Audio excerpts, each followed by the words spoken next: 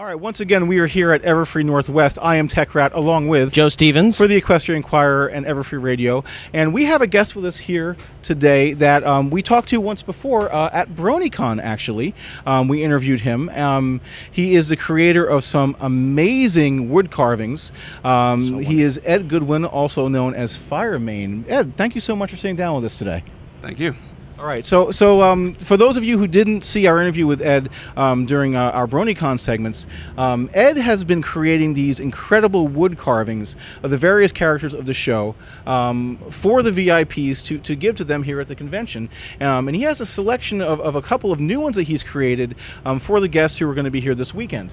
Um, Ed, do you want to just kind of walk us through this and, and, and talk about each of these uh, creations you have here? All right. Well, first uh, we'll start with uh, Apple Bloom here. Can you hold it up? Yeah, Yeah, yeah, okay, thank no you. problem. Are we good? All right.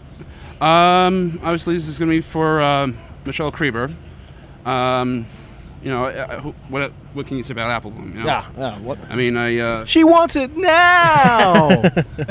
She probably does want it now. I'd imagine. I, actually, I, I tweeted it to her, and I'm like, you know, this is for you forever for, uh, for at, at here, and um, you know, she was really amazed by it, you know, and um, now, have you been able to set aside some time? Do you have like an, an event uh, handing over ceremony where you're going to be doing that?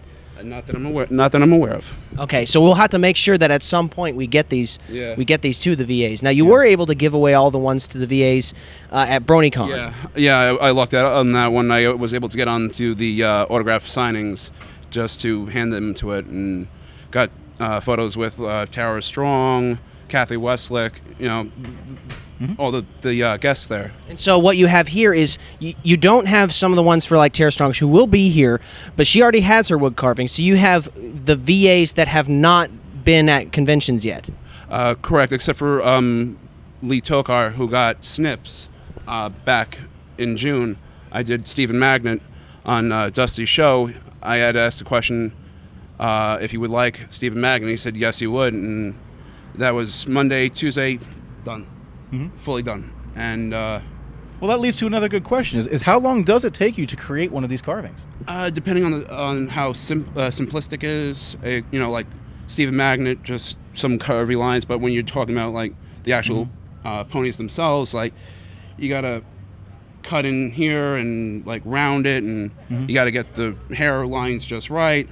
It's it's all about you know figuring out the perception of uh, simplicity.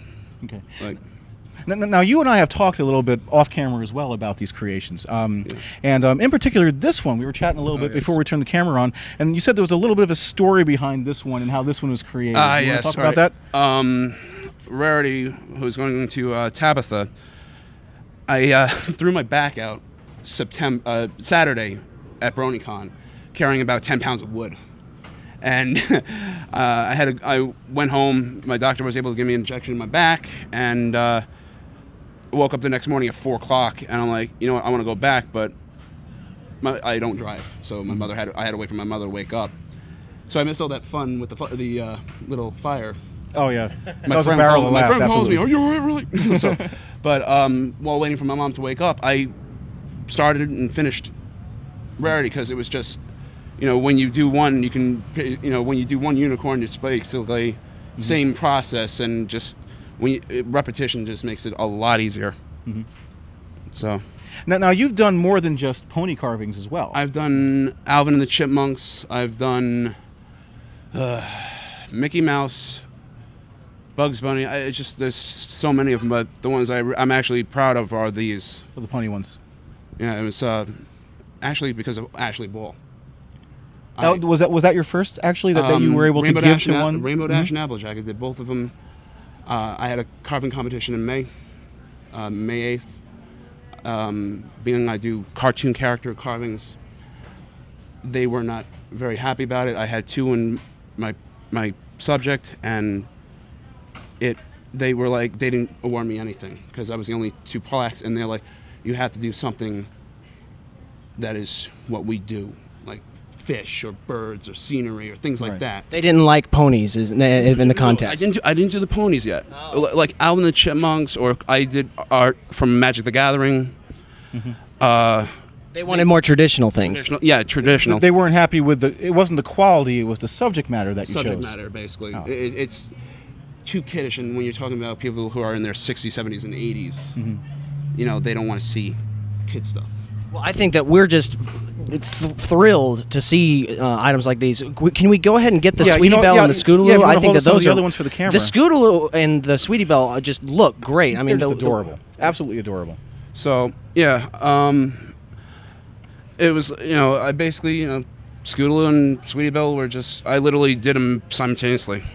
I'm like I got. So, nothing so, to so like one in each hand. I mean, you're, you're just Well, going kind of. you know, like- you got two jigsaws going on, or no no jigsaws everything's hand carved Everything's hand carved. everything's hand carved. No machinery at all doing Nope this. nope nope. so you use a chisel and hammer, basically. uh, gouges, knives, uh, thing called a V tool. So Yeah. it gets into these. Li- it, it- if you actually look here on an angle, I'll show you. Mm-hmm. See how it goes down in a V form? Yeah, yeah, I do see that. hmm It's basically the cutting tool is in a V form, and you just To kind of carve and scoop out the Right. wood as, as you're going. so you're not taking too much out. well, that's only makes all of these 20% cooler. I had no idea that this was entirely by hand. That's I, I love the This is- expression that you're able to capture on all of the faces. You can see the emotion in the drawing. I think that that's is that tough to do on on wood to capture not just the visual element because you've not just got the painting on here. You've got the you, the, the, the expressions are in the carving itself. Is, is Mm-hmm. that tough to do? Well, thankfully for Google Images, that's how I got all the pictures. I got all the pictures from off the internet. So, so do you just hand trace onto wood first? Yes. Okay. uh, because uh, y- having a guideline like that, especially when you're dealing with, if you you know, with the grains on wood, it's very hard to draw on Right. because Mm-hmm. right. you either go down or it doesn't skew right. I mean, all you do, well, the way you traditionally you use carbon paper, I'm lazy. I use pencil. I just scratch the heck out of the back of it and. And then just Yeah. trace. Well, well, these are just fantastic. We we we'd love to see when you get a chance to hand these off. We'll, we'll, we'll we'll keep track of of when they and we'll we'll keep track of them. I know that they're just going to love them. Obviously, uh, Lee Tockar has already seen his. So now, do they kn- they all know that they're getting? Uh, obviously, you said Apple Bloom or uh, Michelle and and Steven. Is it going to be a surprise for Tabitha and Claire and them? Well, because I didn't, I don't know if Claire and Madeline have uh, Twitter.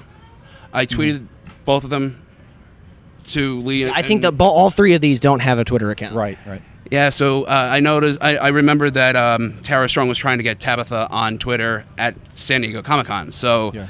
And she was a little resistant to that, I believe. if she isn't, she might be, you know, a little bit more persuaded. M- m- this, m- maybe this will, will convince her that you, you know, know, it's worth it's worth Yeah. the, it's worth the time. Well, thank you so much for sharing with these again, and we'll keep a, a lookout for them. And if we catch you again later in the day, we'll, we'll, we'll, we'll love to hear how it went handing these off. So thank you again for sharing them. no problem. Oh, and also uh, talk to Dusty. He got his OC as well. Oh, yeah, we'll have to show uh, Dusty Katt, the manliest brony in the world. oh, you got did one, one of these these. We'll have to Dusty, share one of those as well. Oh, that so you did overhaul. Oh, that's fantastic. Yes, I we'll. We'll have to we'll have to definitely show that on the stream when we get a hold of that. That's fantastic. All right, so we got a lot more stuff lined up. Once again, I'm Joe Stevens, And I'm Tech Rat, and this is the Equestrian Inquirer for Everfree Radio from Everfree Northwest. and we'll see you soon.